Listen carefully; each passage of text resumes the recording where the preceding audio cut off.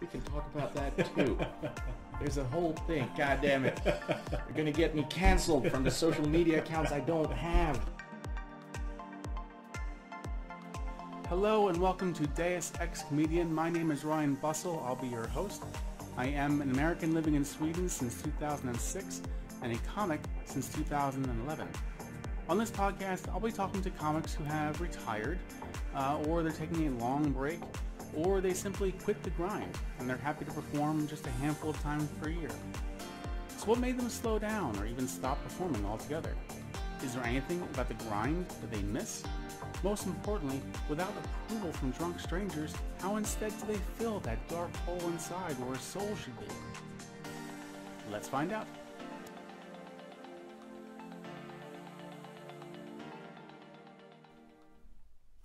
My guest this week is a former co-owner of the legendary Power Comedy Club and also a runner-up in the Funniest Person in Mid-Sweden contest, Erik Börjesson.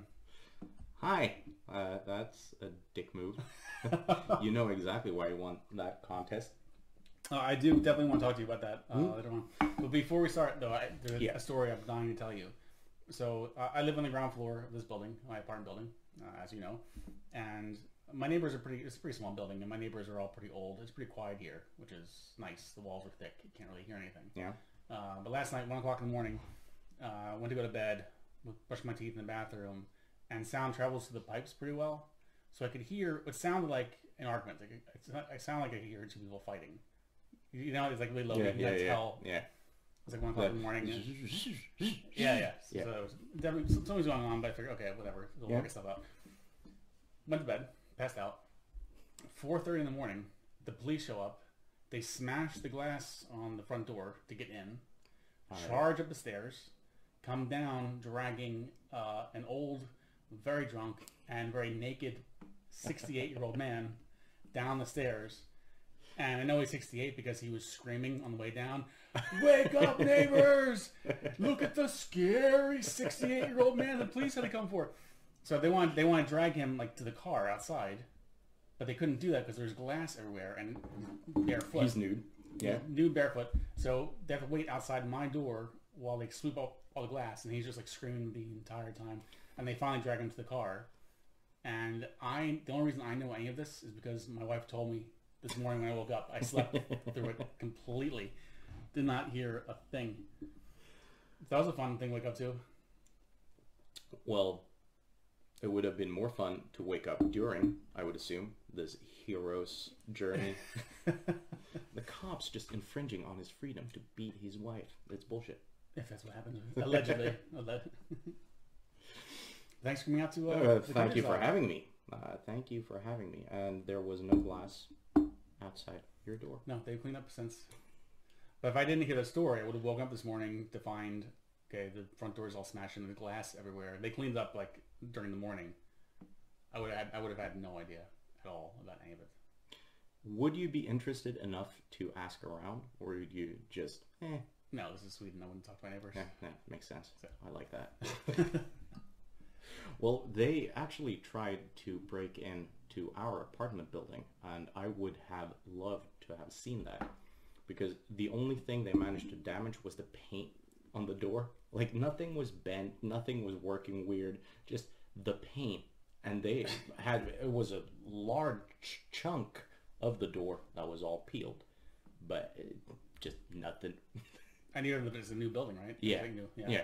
So it's like a security front door. Very nice. yeah. So, uh, would you are you now considered a? Would you say you are an ex comedian? Are you done? Done? Well, it's like they say, uh, a comic is a state of being. Uh, I don't know. Yes, yes, I would say. Well, I don't know if I've like formally quit because the decision was kind of made for me. Uh, we can talk about that later, but let's flip it around. I would absolutely not call myself a comic. Okay. I don't know if I would call myself an ex-comic. Uh, you get the distinction? I do. Yeah. That makes sense. Um, so probably Okay. not a comic, but not an ex-comic. But compared to how you were, though, you were certainly. Oh, hell yeah, yeah. Yeah. You've left the grind. Yes, yes, I have. Uh, but I mean, I had uh, I had one foot out the door already uh, a year back when when the big the big C hit. Uh, so I had one foot out the door, uh, and then COVID hit, and there were no gigs really, and now I'm having a kid, and I'm locked at home, so it's been very easy to just stop. Right. So that's probably what I've done. And do you miss it? E- hmm, eh, I miss parts of it. Like, what I really miss is thinking about something that I think is funny. Like, I there is something funny in here, and then walking on stage and having it work. I miss that little journey. Right. Uh, so I miss performing, kinda. I don't miss being nervous about performing. I don't miss waiting to perform. I don't miss sitting around after I've performed. But the just those 5, 10, 15 minutes, I kind of miss those if they went well. I don't miss bombing. So yeah, um, it's it's a thorny question. I would say I don't know. Like parts of it, part of me is just hugely relieved that I don't have to think about it anymore. Okay. Uh, I can play a lot more video games now. And I guess you don't think about them, or did you think of do you think of mater- new jokes now? Or? Well, that's also uh, I don't know if you can relate, but I don't know if I could have done stand up in the last year due to COVID because I I have no there's no information going into my brain. I don't like my writing process was very much talk to people and then something took root and it took a couple of days and that turned into a joke later. I don't talk to people anymore. yeah. So I don't know what I would, would say. Like, and I refuse to go up and do the same jokes I did a year and a half ago. Just because that's that's what I got. Like I'm not gonna do that. No, I can I can definitely relate to that. I mean, I spent most of the last year either on my couch or at the gym. Yeah. I'm not really interacting with anyone either. Yeah, that's that's just loads of material just waiting to happen on that couch. Like no. Uh, so But, you, Yeah. but you say that you wouldn't that you could not keep doing the same material over and over. But that's not a problem for many comics who no, have it stayed is active not. during this time. It is not. Uh, I'll have to start my own podcast and talk to them how they do it because I I don't get it. Like if obviously I had, you see, I had technically still have the jokes, but I had I had a bunch of jokes that were like staples that I used for for gigs that were important or whatever. But I didn't recycle material very often. I like to think, at least. Like I had an opener. I had the hooker bit stayed s- stuck around for a long while.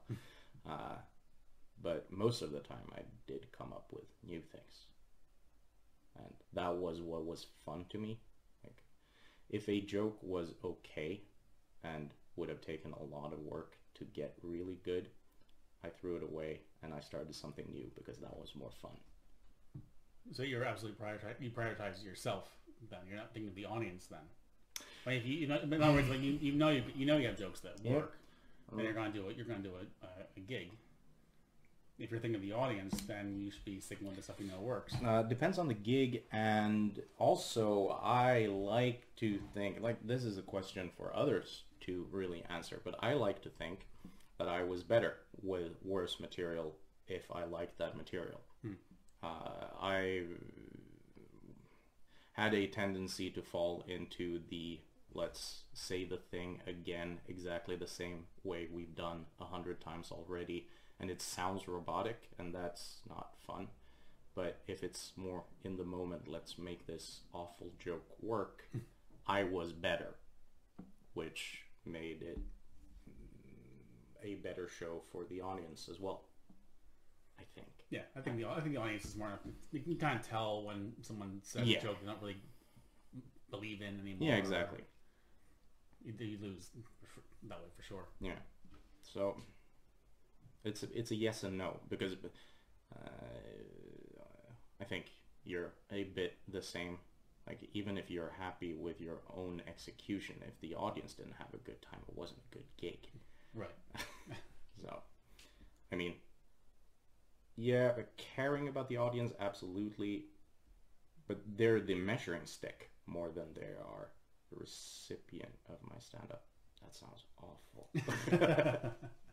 I don't know, it's it's all baked in into a huge thorny ball of like why why do we do this? Like there, it's not just one reason. It's not. It's fun to do comedy. It's a whole host of things. And yeah, I think I need to pay you to unpack that Yeah. because then it's a therapy session. Well, I know in the beginning, like when I first when I first started, uh, and, and initially I was really thinking about like I, I've got to make the audience laugh. Yeah. And then after a few months, my first few months, uh, I, I, I, managed to do that. Yeah. And then then it- then it just became all about myself. And then I just I just want to what I want to do, and it didn't matter if they liked me or not. And I said, I believe at the time, I don't care what they think. Like I'm, Yeah.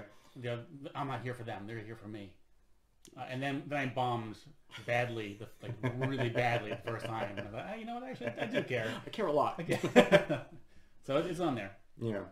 Uh, so, we- but the weird thing is like the audience is really it's a thing. It's not people anymore.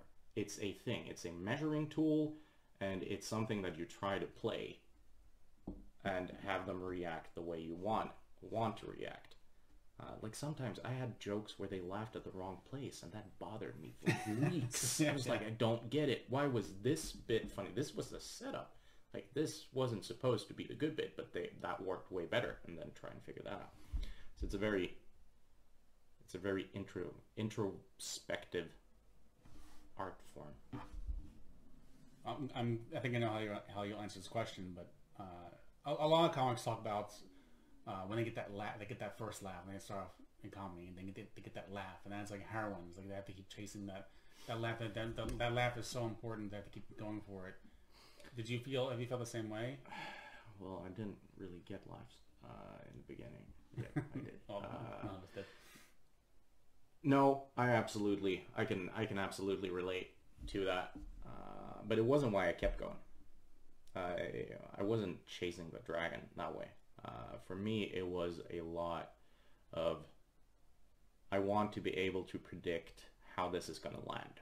Like I want to, I want to construct this, this little, this little joke, and nine times out of ten, the audience is going to react in the way I have predicted they will react. That was the fun part for me, like hmm. constructing this journey uh, with, with roller coaster, whatever. That's a huge pet peeve of mine. I hate when people use the word journey to Yeah. describe anything that's not actually a journey. eh, yeah, That's why, I that's get why I can't, I can't watch like oh. Idol or it's a, it's a second language. I'm sorry. that's fine. It's okay. It's my own my own pet peeve. But, I do understand completely what you, what you mean. Like, For me, it was never about chasing the laugh. It was always about thinking of a set and just imagining like, okay, like if they're gonna laugh here, they're gonna listen here, uh, they're gonna like groan here, Yeah. they're gonna applaud there, Yeah. and then I go do the set and they do exactly it goes Yeah. exactly as I planned, and that's when I felt the best. Like, okay, Yeah. now I got exactly what I nailed it. for, Yeah. Uh, but I also I like to improvise more than you do. I think, uh, and that was another like fun thing when you hit that zone where like you're riffing and it's working, and sometimes, rarely, you hit a point where you can do no wrong, and that feeling is that's heroin. That's that's a good feeling. Yeah. I can imagine. I, I, yeah, it's true. I don't. I've never really done improv Yeah. or riff. I have like absolutely changed sets. Like if I had go into a set thinking, okay, I'm to do this material, and then realize, okay, this is not going to work, or I should try to do something else, and I'll switch on the fly. Yeah. But still, they are very much like Yeah. songs. Like I, I mean, it's like I know how this bit goes. it's like Lego. Uh, yeah, you that's good. Yeah. stick it together in various configurations, and I think everyone does that.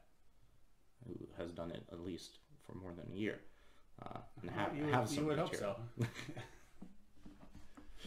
Uh, but yeah, I was actually thinking about to the point you made earlier, because this this podcast will be very much focused on people who've actually left yeah, and don't don't grind anymore. But I Mm. think now and then maybe I'll have like an anti X comic and actually get someone in who is like just has not stopped performing ever, Yeah. and just just to see like yeah, Yeah. because I know you and I are both very snobbish about, about comedy, and I no idea what you're talking about. that I take offense. But like personally, but I really grapple with that. Like Yes. it's like it's like um like uh, it's like pop country. Like I my my my music taste is really broad. I like, like Yeah. a lot of different things. But, but pop country, I really cannot stand pop country Mm-hmm. at all. And my mother and my sister fell in love with that years ago, and I used to just to give them a ton of shit for liking that music. Yeah. And but after a while, it's like it's still pop, it's pop country. It's still popular. It's a lot of people like it, and let them like it. Yeah.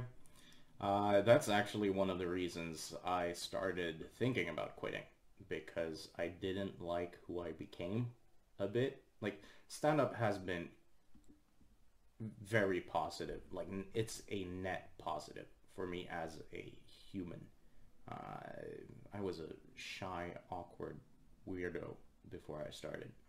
Uh, I'm still Yeah, that, but I can yes. hide it uh, better. I was, Like, wondering, I was wondering this yeah, no, but I'm, I'm, okay. I'm, I can socially pretend better than I could before. Uh, I can, like, just writing emails. I'm better at doing that, like making things more interesting and getting to the point, cutting fat from a conversation. Hmm.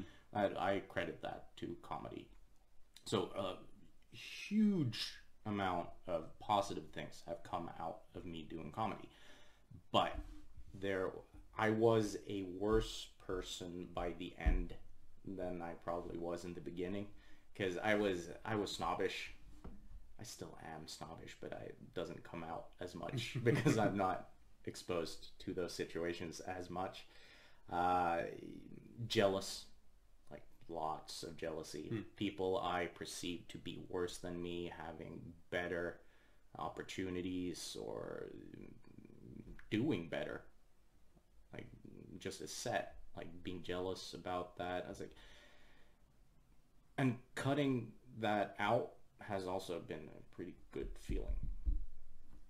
That's I would good. say, yeah, I, I've talked about that before about that the, the jealousy phase. Yeah. I, I think I think all comics go through, or most comics go through similar phases.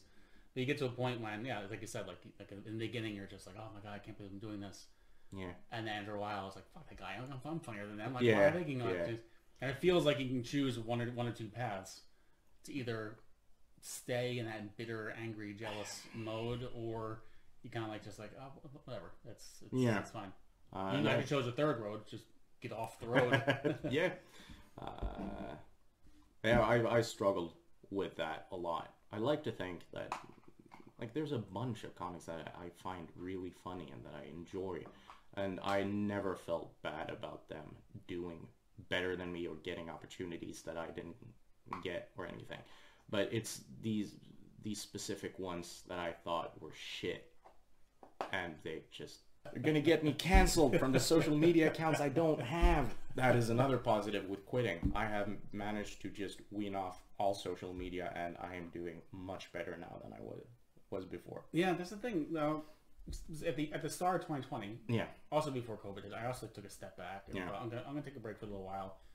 Uh, and I really just like, went off, like, like kind of glanced at social media. Not Mm. even maybe before, like even a couple of years ago, I'd go on Facebook and just scroll, scroll, scroll. Like I wasn't like even reading anything. I just. I just I saw the sea. Like it was like white. Like that's how white noise looks. Yeah. I was just like okay, it's like and at the start of last year was just like okay I'll pop on is there anything happening not really I'll like scroll like a half a page and like "Uh, okay and Yeah. goes off and I've stayed in that mode. Yeah, that's good. That's good. Like I go, I pop on now and then. I'll, I'll, I'll make it some random post or I'll make a joke or something, and that's really it's, it is nice. It's like it's like poison for a brain.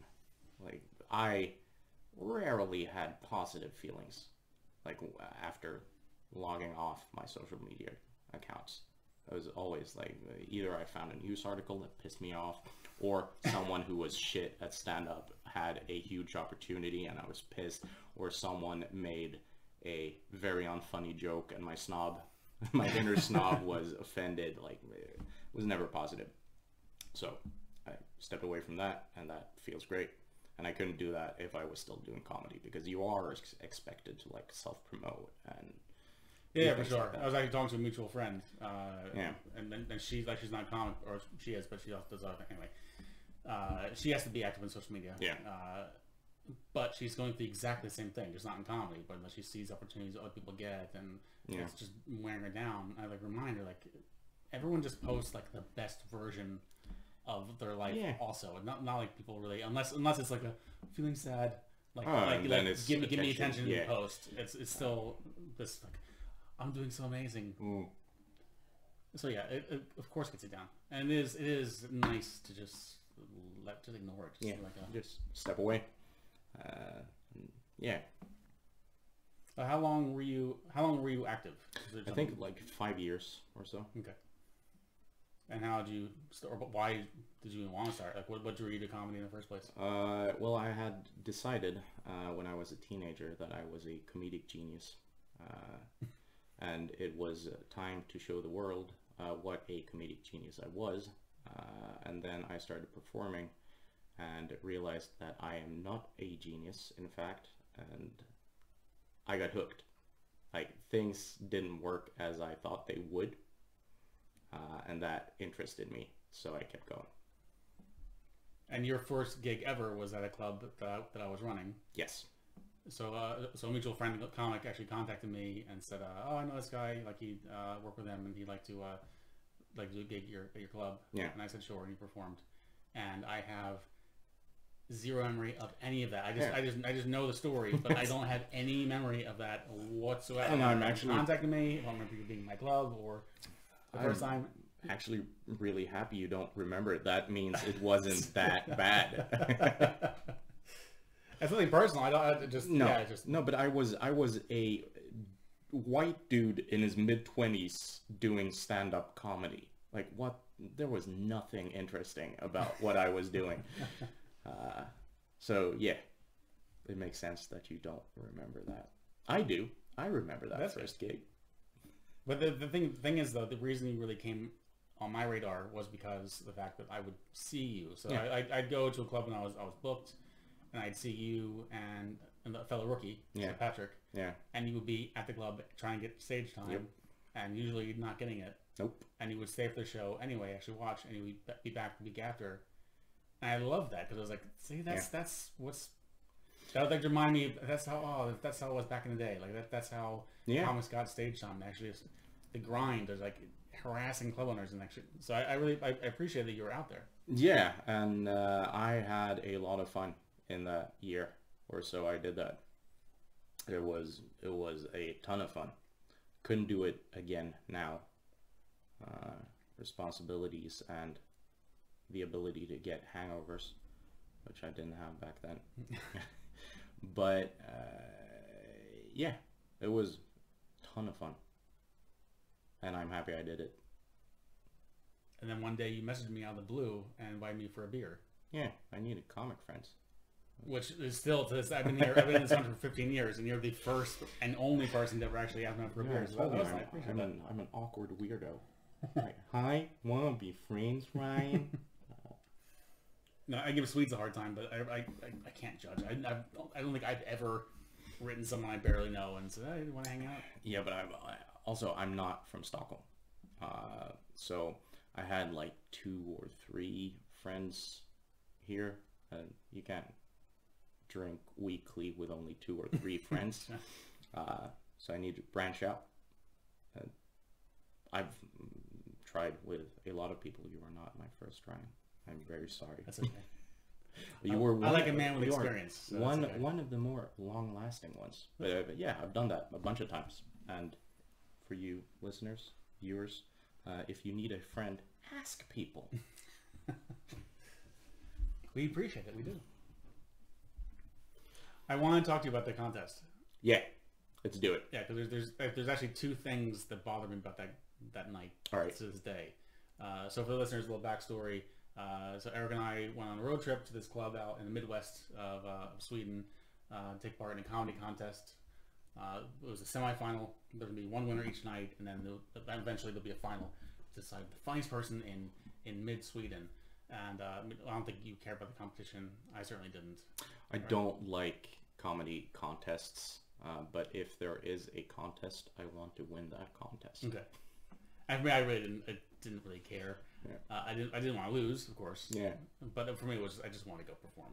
Yes, that was the primary. Like, I'm not mad about not winning that contest, but if it is a contest, obviously I want to win.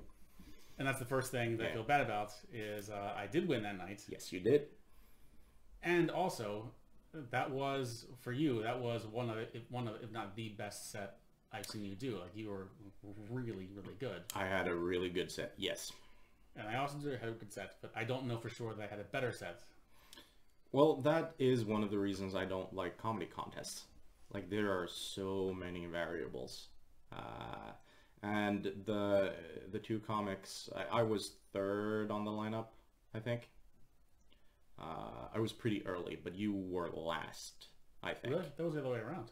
No, I was I was Oh, okay. first. Uh, so the two two comics that went before me, they had a rough time. Uh, they had a really rough time. Yeah. Uh, and yeah, so I didn't have a warm room when I when I walked on. Uh, but I turned it. I had a really good set, and you had a warm room, and that's sometimes all it takes. And also, you were you were last, so you were fresh in their memory. Like, uh, And, and I'm a- also and also speaking English, I'm the only English speaker. I believe Yeah. I was the only English Yes. speaking comic that night. So it stands out that way too. So so I feel I feel kind of bad. no, you because- shouldn't. because you shouldn't. You had a I, really I know, good but, set. but I know how it sounds too. Like, well, if I wasn't there, you would have won. Uh, Yeah, I would have. yeah. that's the one thing. The other thing is, uh, so there were four of us.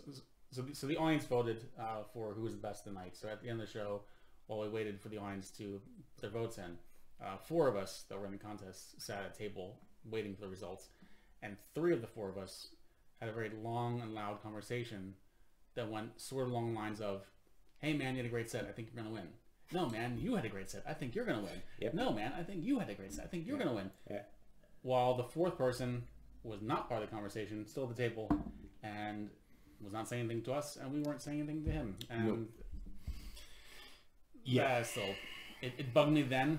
Uh, I think I, re- I think I realized what was going on a little too late. Uh, it, bugged me. Then. It still bugged me now. Was kind of shitty. Yeah, uh, but he's he's a quiet dude off stage as well. So, and he was sitting like not at our table. He was at the table next to us with with some people.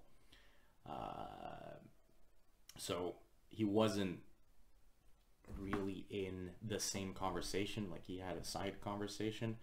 And this is another pet peeve of mine. I don't think like this may be a lie, but I don't think it is.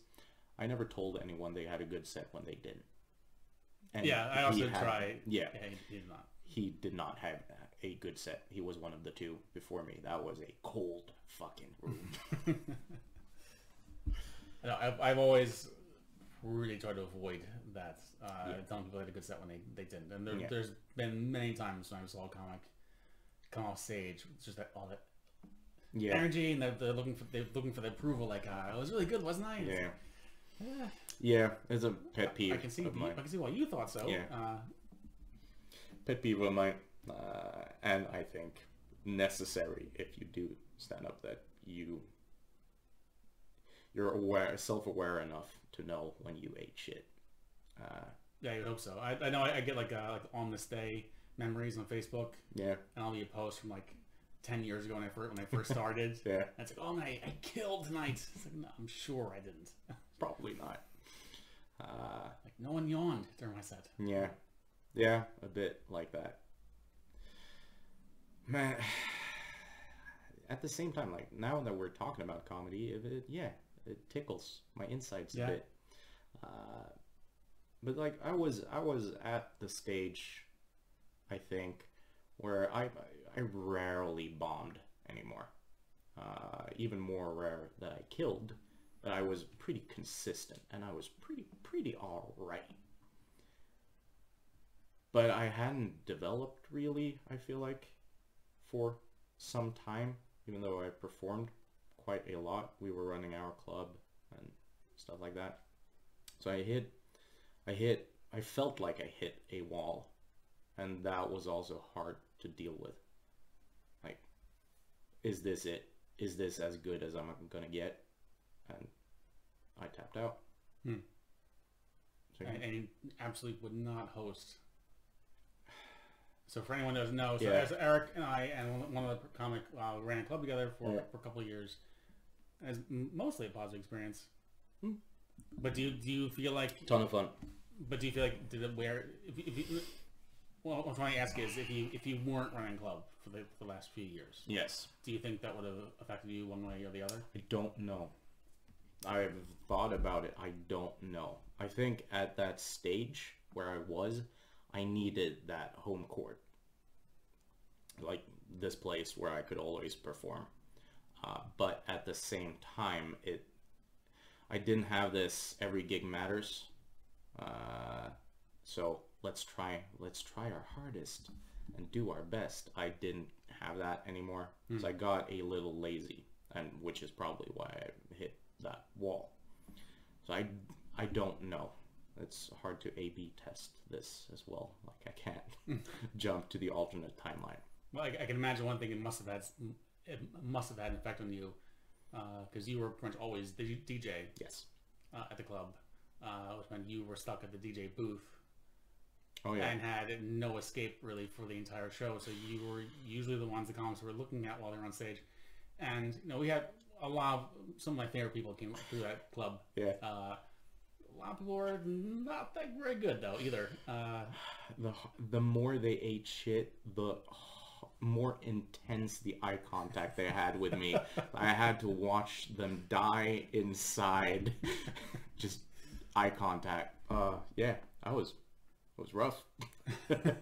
but uh, and it increased my snobbishness because sometimes like we had the marathon like 400 comics one after the other uh, by the end most of them white dudes late 20s same same jokes like not a lot changed in between uh, and the room would be deader and deader and then someone walked on and turned it around and that increased my snobbishness. I was like, "That's a comic.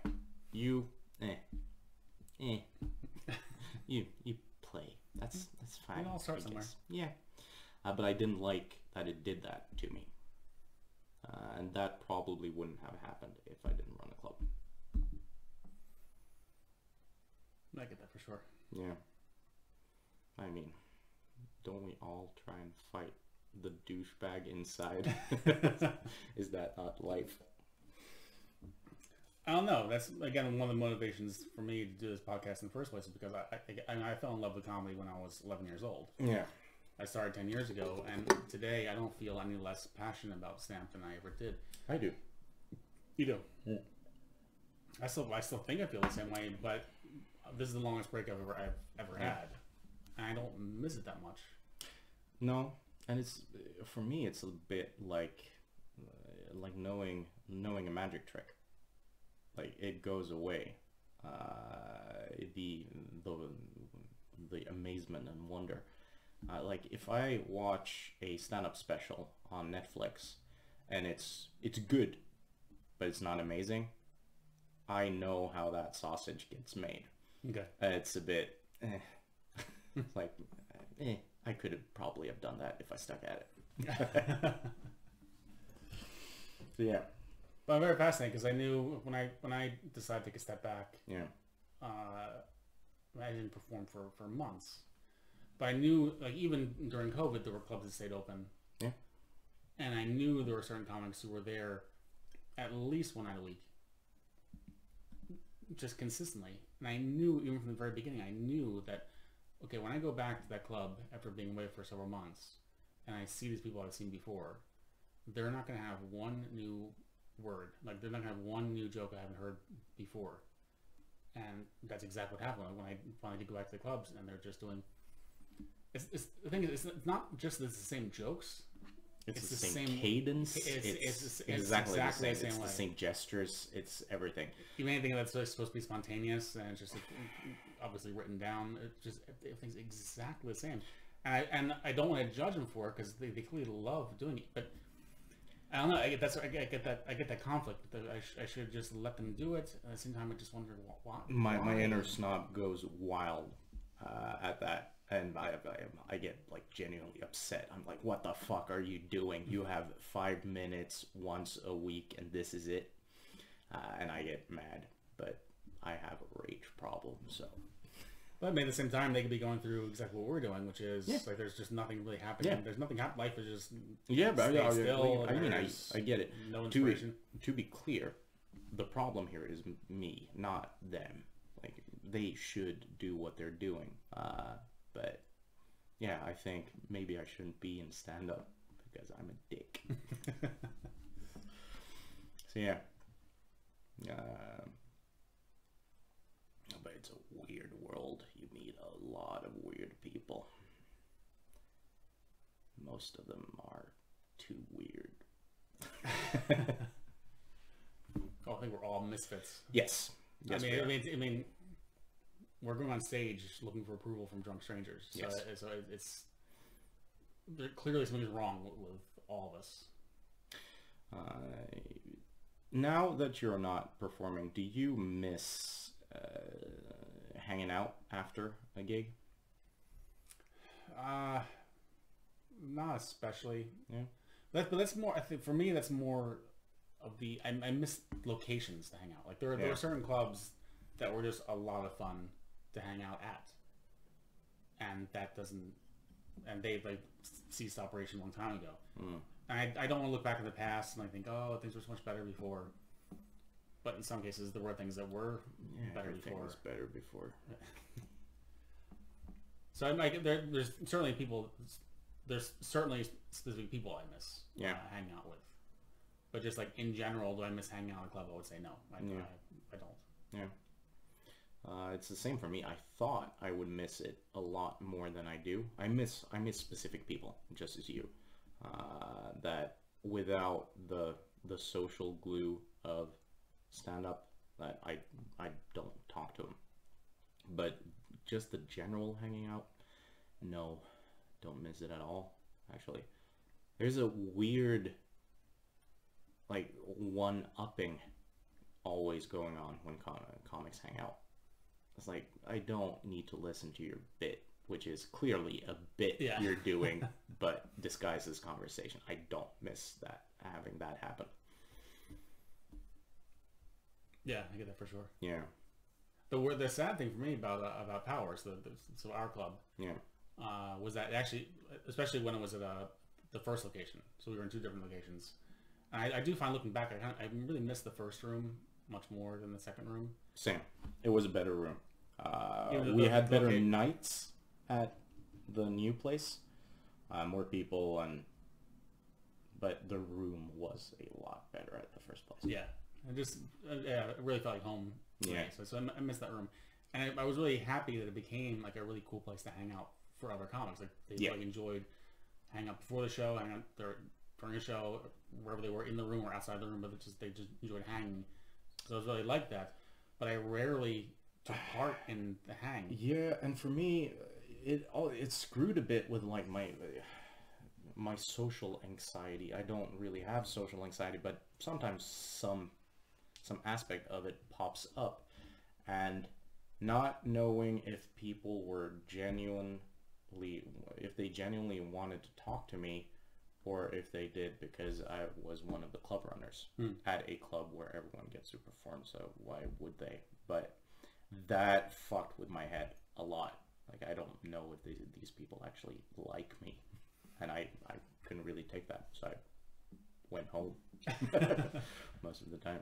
I had that happen. I was a uh, it was a road gig. Yeah. Uh, so by train. So I was at this club, and there were two rookies uh, who live in Uppsala, which is like one train Yeah. station north of where I live now.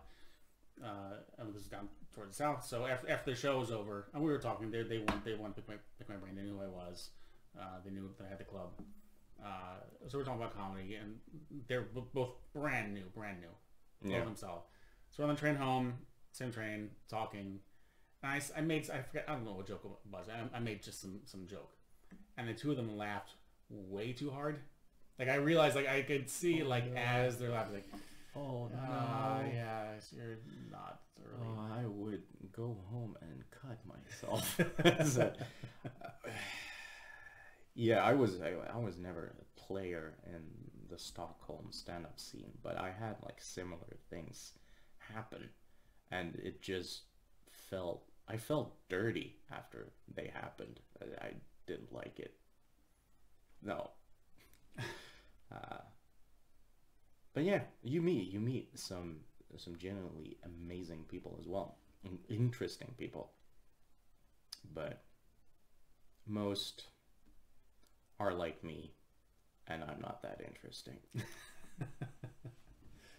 Yeah, pretty socially awkward. Obviously, awkward Yeah. myself. Well, I'm curious though. You said uh, you feel like the jealousy of comics that you Yeah. think are not as good as you, but they get Yes. better opportunities than you. Have- you had much ambition in stand-up? Like, do you? you In other words, like there have been the opportunities that you didn't. Were you seeking those opportunities? So this is now we're in the territory of my own neuroses. Uh, obviously, I had ambitions. Yes, I, wa- I wanted to make a living. I wanted to be a household name. I wanted to go on tour all over. Yes, obviously, I wanted to. Did I do anything to make that happen? God, no. Because if you try and you fail, then you failed. But if you don't try, it, the world is unjust. Okay. So yeah, I had that happen a lot. Like uh, we talked about self-promoting. Uh, I didn't, didn't fucking self-promote. No. uh, so obviously I didn't make it because I didn't work too hard and I wouldn't play the game. Um, and I mean, us running the club and we had the whole the touring concept that we were spitballing and we did a few few shows like on the road. I figured that could be a way to bypass playing the game a little, but I didn't really, I didn't apply myself. Uh, but yeah, obviously I wanted to be the guy. I wanted to be Bill Burr, Dave Chappelle, Erik Boman Börjesson. Well, you say you say that obviously, but like I never had, I've never had much ambition Yeah, okay. really. Like, it, of course, it'd be, it'd be nice. I'd, I'd, I'd love for that to happen. Yeah. But it was the- never. It was never. Go, I never. I never went into stamp with a goal in mind. Like, No. I, I, like I didn't like. Okay, I'm, I'm gonna do these. I'm gonna grind through the open mics for a while. Yeah. And then I'm gonna get on the radio, and I'm gonna get a sitcom. Like, Uh, like, like no, that was never the plan. Uh, I didn't like. No, I didn't have like. I'm. I'm not doing this if I don't become a household name. That wasn't it. But I. Okay, so ambition versus dreams versus. It's difficult, but no, it wasn't. It was never like I'm doing this for a paycheck. I did it because I enjoyed stand up, and then like there was hidden underneath all this there was a a wish a drive and uh, an ambition to to become really really good at it and take it from there but the trying to get good always superseded like making money or being famous or anything like i i really enjoyed the craft of it that was what i wanted to master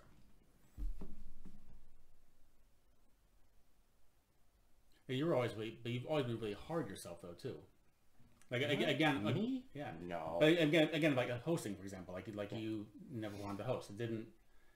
But I mean, none, none of the three of us ever wanted to host really. Uh, But that's also, but that's also a weird thing. I was going to touch on that too. Is that normally comics we we start clubs because we want a stage, like we just want a guaranteed spot. But we weren't like that. We we we do the just having a club open was enough. Like there were nights, there were nights that like I I, I didn't host and I didn't go on stage. I was just there, and there were lots of nights when you didn't host and you didn't do a stage, just just DJ. Why the hell do we even do that? Why do we even have a club? I think I think that's twofold. Uh, I think we spoil ourselves a bit. Uh, like we we had this place where we could do whatever the fuck we wanted, uh, and yeah, sometimes you're not feeling it, so you don't. Uh, for me, part of it was also respect of the audience and uh, or for for the audience and for the other comics. Like I don't need to take up this slot because I don't really want to, and I have nothing nothing new to say. I would go up and I would do the same same bit just because. Uh, so yeah, I think that was part of why we didn't. But also, I think, at least for me, and I, I think it applies to you as well, like we felt a responsibility for all these comics, these wannabe comics, everyone who came week after week to our pretty shitty club at times. And like we wanted to do it for them as well. So yeah. Also, thorny weird ball of weirdness. Because those nights when I didn't want to perform uh, anything, I kind of hated being there, and it never ended. I we, got home at like two in the morning on a Thursday, a Wednesday, and a Thursday. Uh, so Fridays, I was a wreck at work, and we worked the same job. Just all right, I'll be here physically and hope no one talks to me, and I need to do anything because I can't. There's nothing left in the tank. That's also something too. Is that I mean, when I first started, it, it took me like about a year to really get going. Yeah. Uh, but by the end of the year, I was doing between five to ten gigs a week. Yeah, I was just always out. And by the end of 2019, like I, I, could, I knew like okay, I need to at least slow down. Eventually, I would just say I need to take, I have to just take a break completely. yeah, But even like back in 2018, we had so we had the club two nights a week. I was working at another club. You were there sometimes too, yeah, like weekends. yeah. And then I book like uh, Big Ben, like a rookie Yeah. club, one Sunday a month, and that's pretty much all I was doing, nothing else. Yeah. And even like like the Sunday night, I often would cancel because I just even that was like too much. It was out Wednesday, Thursday, Friday, Saturday, and Sunday. It's like I really don't, No. want to go, which is really shitty because I'm. I, I, like, I'm, I was in a position where I, as a Salem, I, I can book myself at this club once per month. Yeah. There's a lot of comics who can't book themselves No. there that often. Uh, no, but also you have to you have to do things for you, not because others don't have the opportunity. Like you don't, you can't measure yourself against that. Uh, I, I didn't want to take it for granted. It's- No. but you've kind of earned the right to take it a little bit for granted. You have done the legwork.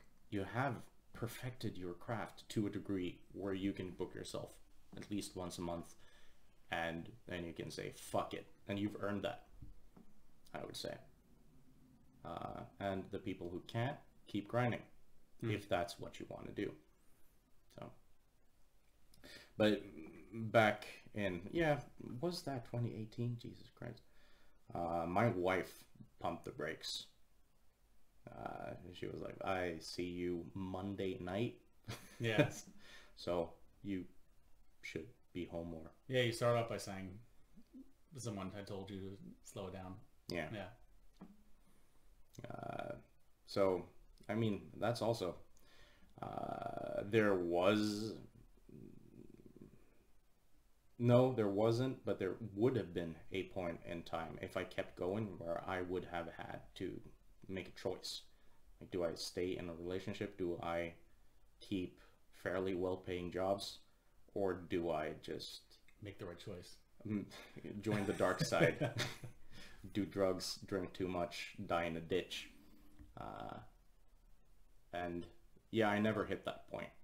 I think, luckily, because I tend to self-destruct, and I would probably have picked the wrong ones and gone for it. Can you imagine that pain?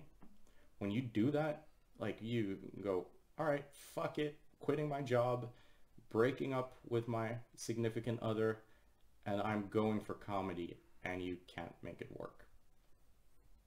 I cannot imagine that. No. I think maybe that's also maybe the benefit of with my. I started comedy when I was like thirty, so 34, 35, Yeah. 35, 35.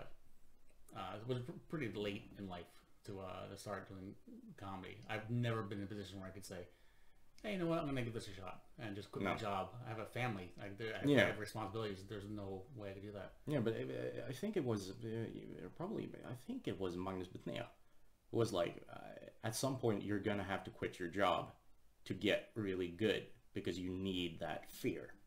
Uh, otherwise, you won't chase it hard enough.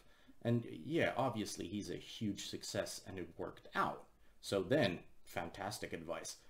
But if you fail, Jesus Christ, that's, that's just bad. And also, we live in Sweden. I mean, it's not like there's a, a massive amount of No. growth opportunity uh, for comedy. There's, it, it's not like other countries. There's not much going away for like, there is TV, no there's- college circuit here, which is like American comics. There, that's where they grind their teeth. That's where you go when you've quit your office job. You do grind the college circuit and make a living, and then you hopefully get good enough to get a TV deal or big enough to do actually proper stand-up full time. Hmm.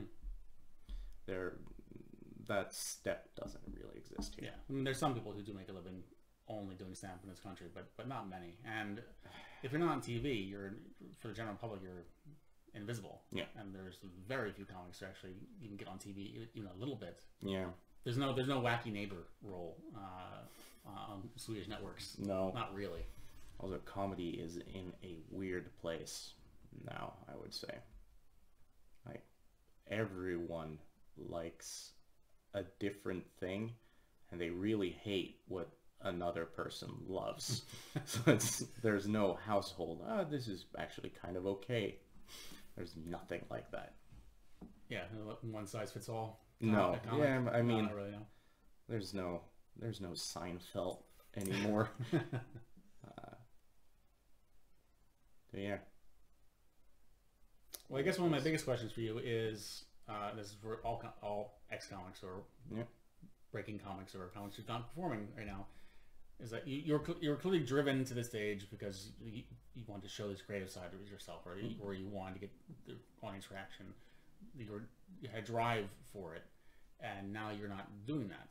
Yeah. Does that mean the need is gone? Or... Absolutely not. Okay. I'm I'm looking for some kind of outlet, and I mean I do full on sets for my wife at home.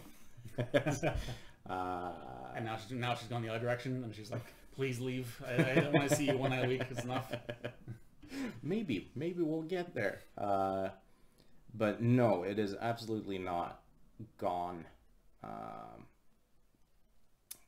but I'm I'm fortunate enough to have a job that I really enjoy now, so that takes some of the edge off. Even if it's not creative, it's it's a fun outlet. Uh, so I I can kind of let that air out. But no, I'm probably looking for something something creative to do. I fucking, fucking tried to learn the harmonica. uh, but yeah, no, I, I still still need it. Probably not to the same extent because I'm happier now than I was when I started stand up. Uh, so the need the need for approval that I guess always has been there in some form. That is, if not gone, so dramatically lessened. Hmm. But yeah, I need a creative outlet. Okay, well, good luck Yeah. with that. Well, I'll tell you when I find something. I can find my mixtape on SoundCloud. But yeah, Uh, but how about you? How do you how do you feel? Like, do you get to be creative, or are you? Not really. Well, it's again, it's just it's, a, it's just been a weird year. Yeah. Like I wonder how. Like I said, I, I, I decided to take a break at the start of 2020, Yeah. and right as I was like feeling like okay, I'm, I'm ready to give this tentatively a shot again, was when Corona hit. Yeah. So there weren't many opportunities. I did gig a few times, uh, and I had like I, I remember like I, I didn't perform at all in, in January or February. In March, I hosted uh, two nights, and the first night I just ate complete shit. Uh, just so rusty. I, I Yeah. thought I, I thought I could sleep my way through like I always did, but I was like, no, wow. And the next night was much better, so that, that was really good. But then I didn't gig again for months after that. Hmm. Um, so I, I did like I, I think I performed maybe five times last year. And I guess I, I haven't really missed it very much. But at the same time, I don't know how I would have felt if I had decided to take a break and there was no Corona. Like like if there were Yeah. still like 80 clubs open in Stockholm and I was just seeing on Facebook, Instagram, just the post, but the new show, new show, new show, new show. If I would still if I would still feel as like content Yeah. to not do anything. I don't know. Um, No, answer I'm not, I really don't know. Very difficult to know, as well. Like we can't A/B test this. Yeah. Uh, but oh, now that you uh, talked about being rusty, like I can't imagine how my first five sets would be if I started now, and I don't know because, but, like I said, like I think I was in a place where I, I bombed very rarely, uh, like proper bombed. Obviously, I had poor sets, but proper bombed very rarely. I don't know if I could take a proper bombing, like coming back. I would be rough. Because I really don't miss that, the feeling of bombing. You know, one thing that you would have to experience, um, I'm sure I'll have to experience the same thing, is that so so one club has stayed open Yeah. uh, during this entire time, and I've not been there since November, uh, I think, maybe it's earlier than that. But I've talked to people who have been going there consistently, and what I've heard is that there actually is like right now a mini boom in rookies, like because there's plenty of spots. So there are a lot. There are actually a lot of people who right they're right now doing their first gigs, which Jesus like this is the way they're gonna get their first experience on stage, like with a very tiny, tiny crowd. But okay, but now they're starting and they're they're pushing through and they're gonna be going there consistently. So now now like when you go there, if like, you're gonna do a set there, or I'm gonna do a set there, I'm gonna walk in with all the experience that we have and meet these absolute rookies, and they're gonna look at us like, Yeah. like, What's who, like, like who are you? Like, uh, like you, you're you're not worth anything Yeah. until you actually go up on stage and prove yourself. Yeah, but I, I like that. Uh, you're only as good as your last set. No, that is not true. But uh, I do think stand-up should and is a bit of a merit meritocrat. I can't Meritocracy. use. Yeah, thank you. Shouldn't try to use big words. uh, so I I like that aspect of it, uh, and personally, I I kind of don't ironically, even though I had this, oh, I want to be famous and a household name, I don't want people to know who I am. I like being the underdog. If, I've had sets where I haven't really known anyone in the club. Uh, it's been like they know each other because I've taken breaks before, and then I come back. It's a rookie heavy night at Big Ben, and I go up and I do pretty well uh, and they have no no fucking clue who I am. I like that feeling of Yeah. just sneak sneaking in. uh, I don't know where I was going with that, but yeah, it's a good feeling, isn't it? I, I do like it. I was I was talking to someone else, a Yeah. mutual friend who had that experience uh, pre-COVID. They just Yeah. hadn't been uh, at Big at Big Ben, Yeah. uh, for example. He had not been there for a long time. Walked in, got that reaction of just like no one paying him mind or anything, and he just had like his ego just went like Yeah, you don't, motherfucker don't know who I am. I'm just blah, blah, blah." But I, that's at the same like I don't I don't have that reaction. I'm almost I'm almost embarrassed now because because I'm I'm about to celebrate 10 years Yeah. as as a comic, and I don't really have a whole lot to show for it. Like I'm I mean I'm, I'm performing at like one of the top three clubs in in Stockholm on a regular basis, and Yeah. there's a lot a lot of comics who will give, give their left arm Yeah. to be there as often as I am. So so I, I appreciate that. I've, I've worked and I've, I've gained that. Uh, I've gone on tour in Sweden with other comics. I've headline shows, but I'm still. I'm not a comic. I'm not someone who I can't get a gig everywhere I want to. There, No. There's plenty of clubs who are not interested in me. Even like rookie clubs, but never ask me Yeah. if I want to perform there. Even those motherfuckers, like I gave, I gave them their spots at my club, but never contact me for uh, the whole business comes out. I mean, I, I, I think it's part, part of that lack of ambition. Like I, I don't, I don't have that same. I'm not. There's no goal I'm driving for. No. I, I feel like I feel like I'm exactly where I should be. Yeah. That being said, it is slightly embarrassing if I'm talking to someone like a big band who has done like oh they're gonna do like their fourth gig ever and they're like oh how long have you done this oh well ten years Ten years. Um, and I'm first and I have five minutes so so is- stick with it and ten years from now you can be exactly the same place I remember uh, it's probably one of my top three top three gigs and experiences. Uh, it was uh, yeah, it was at Big Ben. Um, and I can't remember if I was booked or if I got a walk-in spot. But anyways, everyone got seven minutes except me. I got four. Uh, and that that fucked with me. I I was really mad. Uh, and then I walked up and yeah, that's one of the few times I actually just killed. And then walked off and just went home. just I'm done. I went home. Uh, so that is one. That was really good feeling. I should perform angry more often. Uh, what's your? Do you have a top three?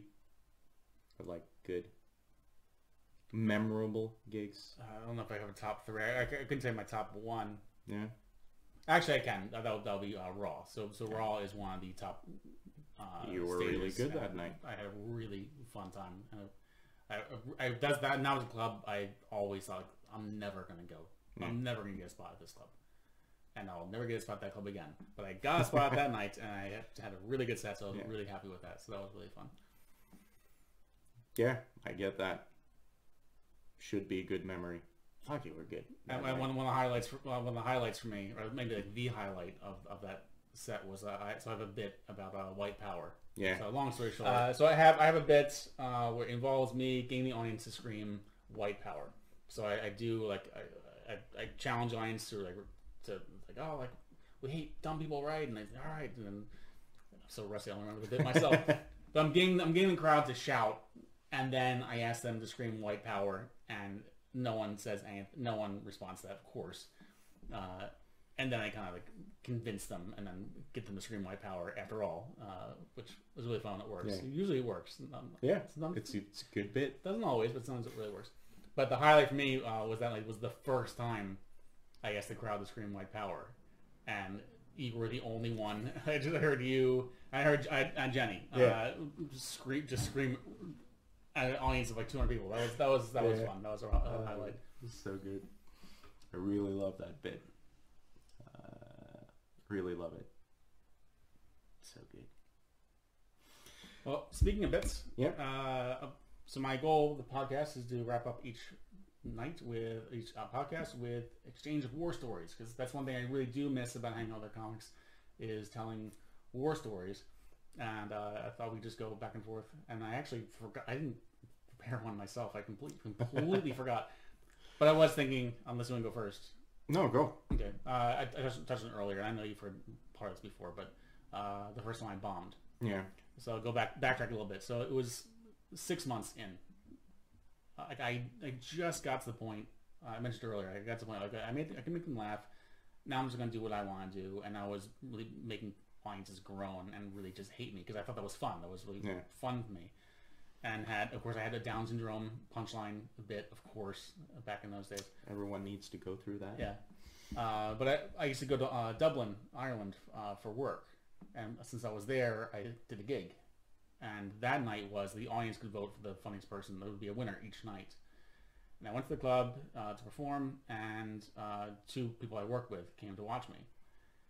And I was did really well. It was a really it was a really fun set. They liked the audience liked me a lot. Uh, but by the end of the set, I just made them despise me. They was like they just really hated me at the end. Uh, came on stage, I was kind of like springing my step because I was really happy. Mission accomplished. And the people I work with like just asked me like, why why did you, why would you do that? Like you were like you could have won. And I and I just I said I just quote like I said I don't care what they think. The day like the day after I came back to Sweden, and it was a Thursday night, and I was I was booked to the club in uh, in Solna, which is like a Stockholm suburb. And my first time with this club, and I had a 15 minute set. It was the longest amount of time I'd ever been given on stage. I was really excited for it, and I invited everyone I knew to come see me. And I think there were at least 10 people I knew uh, actually came that night to watch me. And I went up, and I mean the audience they didn't know there was gonna be a show that night, so they were totally completely disinterested. The micro, the sound system was was pure painful. It was a wireless mic. They got like, if you moved in any direction, you get like, massive feedback. I had a table like right, literally like right next to me, full of people who d- did not care at all. I was actually bothering them that I was up up there trying to tell jokes. Oh no. There was one table of people that actually were listening and actually were enjoying even my sets for some god known reason. Uh, so I've since learned, like in the future, if I'm in that position again, gotta focus on the people who actually like you. But just then, all I could do was just focus on how much I was just completely eating shit. It was just my first and ever gone through, and that was a Thursday. It was the first day of a four-day weekend. So I just left after my set, and actually, no, I, I, I lie. I left and was just feeling awful in the club, and the next comp went up and also bombed, so I felt a little better. And next comp went up and also bombed. It's like okay, well, it's not just me. And then the next comp went up and just turned the whole night around. Yeah. They loved her. Like she she read the room. She crowd work. They absolutely adored her. As, I thought, okay, this is definitely me. That's just, that was just, that was just awful. And I just went home. I don't think I got out of bed for the rest of the weekend. No. I was just in a dark room and just felt absolutely shit. Have you cried over a bombing? No. That, Okay. Yeah, I have. Absolutely, yes. Uh, all right, my story. Uh, I think I'm. I think I'm gonna have to go with the show we did for uh, Stockholm's municipality. They hired us to put on a show at a town square uh, during the summer outside. Do you remember this? Oh yeah, the uh, Yeah. yeah okay. It Uh, comes, where- it you- comes to Gordon. Yeah, yeah. Okay. We did two shows, I think. Yeah. I wasn't there for the first one. And I I, was- and I wasn't there for the second one. yeah. Uh, So- and uh, I got the the honor of hosting, which we've already established. I hate, I just loathe hosting because I I'm not good at it. I was okay at it if I got a good start. Uh, if I didn't, I just dug myself a hole and hated everything. So that was my problem with hosting. Uh, I was then it was decided that I should host this outdoor gig, which everyone who does stand up knows that outdoors is just bad. You need darkness And in the summertime and in alcohol, Sweden, where it's just bright broad, day, broad daylight. yeah. broad daylight. Uh, the sound system we had, if you raised your voice even slightly, uh, the there was an echo against the building that we were facing. Like, uh, what could have been maybe 75, 80 yards away or something. So there was a slight delay before the echo came back. uh, and our audience consisted of a tourist family. So mom, dad, and four kids, where the oldest was maybe eight. Uh, like four drunks, like park bench drunks, uh, Vietnam War vet, vet drunks, uh, and the one one guy who just he had ridden by on his bike, stopped, went back and stood stood in the absolute back of this awful bench setup we had. And we were on a stage like a proper stage so we were probably like two meters off the ground and they were right up by the stage on park benches so if you if you wanted to have any sort of eye contact you had to walk to the edge and lean down uh, so front row was an adorable little girl who was maybe three years old. Uh, second row were her brothers and sisters. Third row were the parents who did not speak Swedish. And then the drunks who were fighting. And way in the back, we had the dude with the bicycle. and so I wasn't feeling great when I walked up. And I didn't know that we were going to have this echo and if you've ever done public speaking, dear viewer, you know that hearing yourself on a delay really screws with all timings. Uh, and I had to try and pull off this show, uh, which I did not do. It did not go well, uh, and we didn't have we didn't have budget, so we could pay everyone. I think we paid a like the headliner, like a nominal fee. I believe I vaguely remember that. Yeah, it was it was not a lot of money, and we we needed to fill like an hour, an hour and a half, uh, with comics who were okay with doing this awful gig for no pay. So they were also struggling because y- you don't get the top tier if it's free outside in the summer. Uh, and even if I, even though I warned them that you're gonna hear yourself if you raise your voice even slightly, they all did it and they got thrown off timing. Uh, the the family of eight or whatever they were, there were so many kids. I think they they multiplied before our eyes. But by the end, there were only kids. Uh, they left pretty early. Uh, the drunk, uh, the drunks, the Vietnam vets, uh, they stopped fighting and started screaming at us. and then we had the dude with the bicycle who, for some reason, stayed the entire show. Uh, tried to come up with better punchlines for every joke. Did he succeed?